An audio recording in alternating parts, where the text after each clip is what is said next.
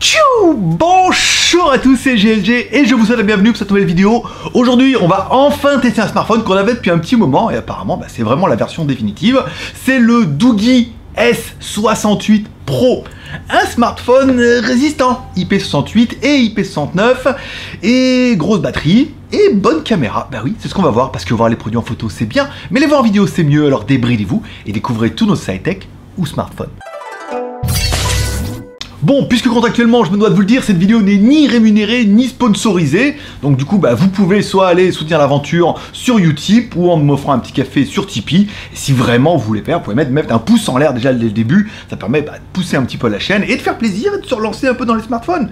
Puisqu'il va peut-être falloir qu'on vraiment qu'on les achète pour de vrai.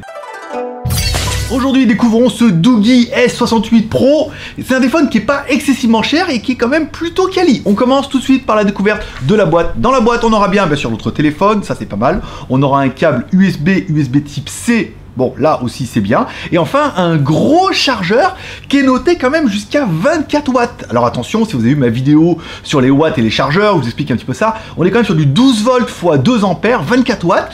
Un gros charge rapide. Bon, au niveau de l'écran, bon, au niveau de l'écran, c'est pas fou. Un écran de 5,9 pouces en IPS Full HD, 428 ppi. Voilà, bon, après, c'est un écran, un écran IPS classique, joli, ça fait bien le taf, belle couleur, beau contraste, bah, rien d'exceptionnel. Bon, par contre, sur notre téléphone anti-choc, on a remarqué, on n'a pas de LED de notification. Ça, c'est un petit peu dommage. Bon, par contre, on aura quand même une caméra à l'avant. Une caméra à l'avant de 16 millions de pixels. Une Samsung d'origine, oui, qui fait des belles photos. Alors, je vais te mettre une enquille de photos pas mal. Tu dis, 16 millions de pixels, c'est pas mal. Bon, par contre, les vidéos sont uniquement en HD. C'est un peu dommage, mais bon, en même temps, euh, est-ce que tu as vraiment besoin de plus que de la HD en façade? Avec une caméra avant, le mode anti-secousse activé. Tant qu'à faire, c'est pas, pas d'AIS, anti-secousse, voilà, tremblement, comme tu voudras. Bon, des vidéos qui sont que en HD, hein, alors, aïe, c'est pas la fin du monde, mais euh, des vidéos qui sont que en HD, voilà, mais pas mal. Voilà. Après, euh, est-ce qu'il vaut mieux basse résolution, enfin basse résolution, que de la HD, et puis bien, que voilà, absolument poussé en HD. Pas mal. L'angle, il est quand même assez, je suis quand même à bout de bras, euh, mal à rentrer avec ma grosse tête. Hein.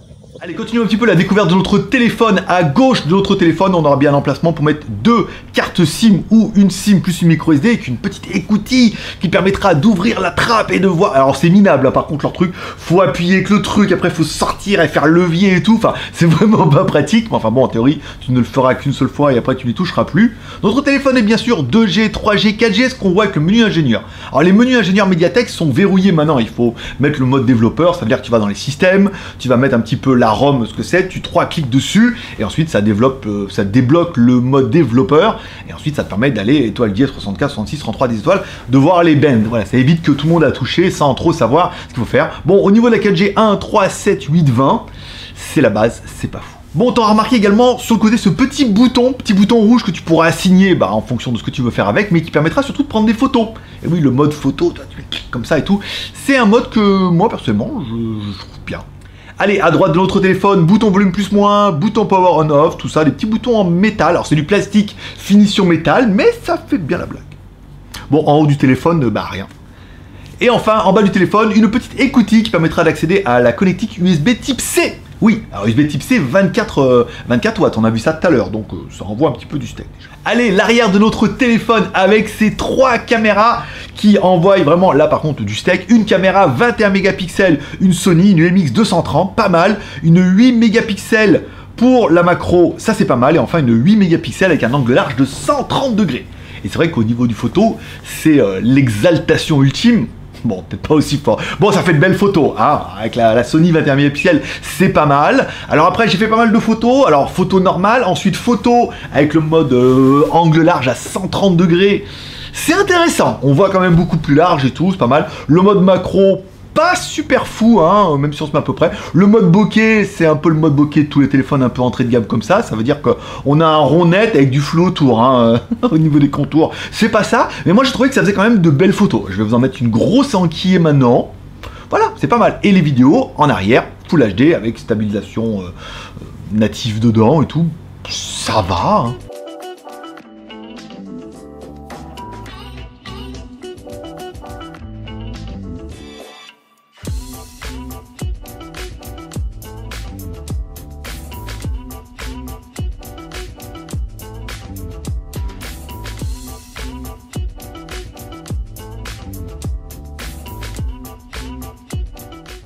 Caméra arrière, mode anti-tremblement, bien comme il. Euh, jolie vue, alors c'est un peu le bordel, là il y a pas beaucoup d'eau, on est en train de construire un truc, une île, je sais pas quoi, voilà. Suivez l'avancement du, du, chantier. Euh. il va arriver à le finir, notre bateau. c'est sympa. Marcher un petit peu jusque là pour voir. il y a un peu de vent, euh, ça permettra de juger aussi un peu de la qualité, mais voilà. Bon, ça va bien et toi? Bon, à l'arrière, un Touch ID pour scanner tes empreintes digitales. À savoir que notre téléphone a également le Face Unlock. Alors ça, c'est simplement du traitement logiciel avec une seule caméra à l'avant. C'est pas une détection de fou, hein, mais ça a le mérite de fonctionner. Bon, et enfin, 6300 mAh. Oh, Dieu. Ah ouais, bah là, t'es quand même pas mal. En plus, bon, elle est compatible charge rapide 24 watts. Je pense que tu es un peu au courant, c'est quand même trois fois que je t'en parle. Et elle est également compatible charge sans fil. Alors, elle est compatible charge sans fil 10 euh, watts normal et charge sans fil inversé 5 watts. Ça veut dire qu'avec le téléphone, tu pourras recharger tes écouteurs, ton casque, ou voilà. C'est un autre truc bleu sans fil, tu pourras le recharger avec le téléphone. En 5 watts, c'est pas fou, hein, mais bon, ça a le mérite d'exister d'être dedans, quoi.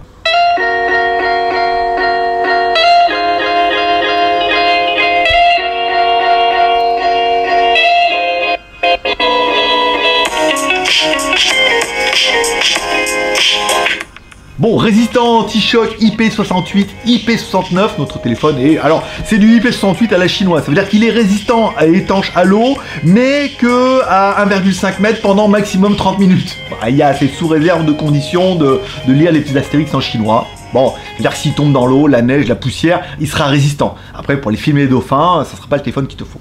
Au niveau de la technique et au niveau du lapin, bien évidemment, 125 000 points quand même pas dégueu. Dedans, on a bien un processeur, un Mediatek Helio P70, un octa-core, hein, 8 fois 2 GHz, en mode 4 petits, 4 gros. Bah ça fait bien le taf, encore une fois, on est sur un téléphone qui est résistant, étanche et tout. Donc c'est pas le téléphone le plus fou qu'on pourra avoir de la planète, mais c'est le téléphone, bah, on va dire, ça a le mérite de fonctionner. Et bah, 125 000 points, euh, c'est pas dégueulasse. Bon, je suis en train de me rendre compte que l'anneau de lumière était un petit peu dans le cadre et tout. Bon, après, on, coupera au montage, ça se verra même pas. T'auras même pas vu. Je vais couper. Je vais renier, tu vas voir. Bon, au niveau de la mémoire, au niveau de la mémoire, ils sont pas foutus de votre gueule. 6 Go de RAM. Putain, c'est pas mal. Nouvelle génération 2020, maintenant c'est 4, 6 Go, 8 Go.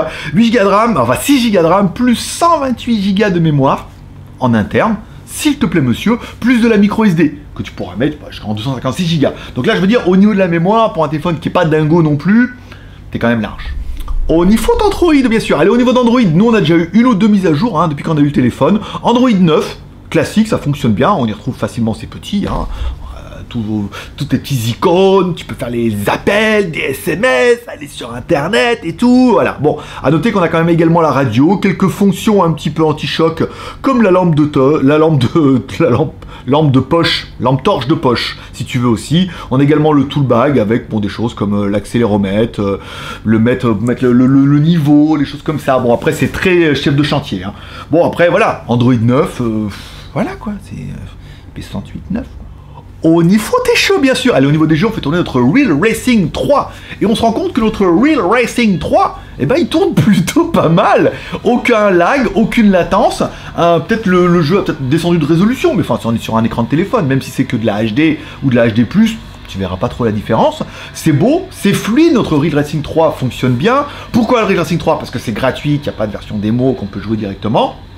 Voilà, j'ai pu faire ma partie, c'est beau, c'est fluide, c'est un P70, encore une fois, un 8 x 2 GHz avec un bon GPU, un téléphone avec une grosse batterie. Ah, est-ce que ça joue bien? Euh, bah, Je veux dire, ça joue. Au niveau de la connectivité, bien sûr. Allez, au niveau de la connectivité, on est bien sur du Wi-Fi, du ABNAC, A, B, G, N, A, C. Là aussi, c'est normal. Il est bien Bluetooth. Oui, monsieur, il est également NFC. Eh oui, c'est noté en haut, tu peux NFC. Et il est également charge sans fil petit détail qui a son importance. Et au niveau des GPS, on est quand même blindé, on est bien sur du GPS, du BDS, qui n'est pas une bande de satellite, si, une bande de satellite, du GLONASS et du Galileo. Deux satellites Galileo, c'est toujours ça de prix. Voilà. Bon, au niveau du GPS, ça fonctionne plutôt bien, gros fixe, premier à l'extérieur et tout. Bon, on n'a plus trop de problèmes sur les nouvelles générations de téléphones. Moi, moi, moi, moi, moi, moi, pas mal. Bon, combien, combien, combien pour le chien dans la vitrine Ou le chat? Le chien ou le chat? Tu mettras en commentaire. Bon, 167 euros, moins de 200 balles. Et moins de 200 balles, qu'est-ce qu'on pourrait dire dans les points positifs? Bon, bel écran Full HD, beau processeur, de la RAM, de la ROM, autant que t'en veux. La batterie 6000 mAh, pas mal. Il y a le NFC, le Bluetooth, le Wi-Fi, un GPS qui fonctionne bien, des caméras de ouf à l'arrière, 21 millions de pixels Sony qui fait de très très belles photos, plus l'angle large bah, qui ouvre un petit peu euh, ton champ d'ouverture en mode AOR. Caméra frontale que HD, mais en même temps, bon, on fait plus des photos 7 millions que des vidéos en HD, on est d'accord. À l'arrière Full HD. Je veux dire, ce téléphone-là, pour moins de 200 balles, il est ultra complet.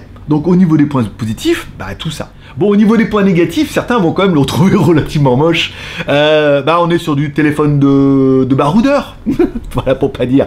On est sur le téléphone de baroudeur.